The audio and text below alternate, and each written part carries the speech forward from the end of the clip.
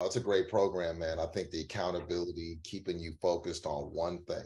I think that's what everybody suffers from. You, it's the it's the shiny object syndrome that Damani was saying when he was advertising the program, right? Yeah. To you find something, we're all guilty of it. We practice it for a little while, but there's really no accountability at the end to get it to a certain point. So you just go Yeah. into shiny object syndrome, you start working on something else, but you really never master anything and you can never really apply it in a live set. What I love about this program is you're not going anywhere until you get past 130 BPM. So you might as well just stop looking at shiny objects and just look at that thing.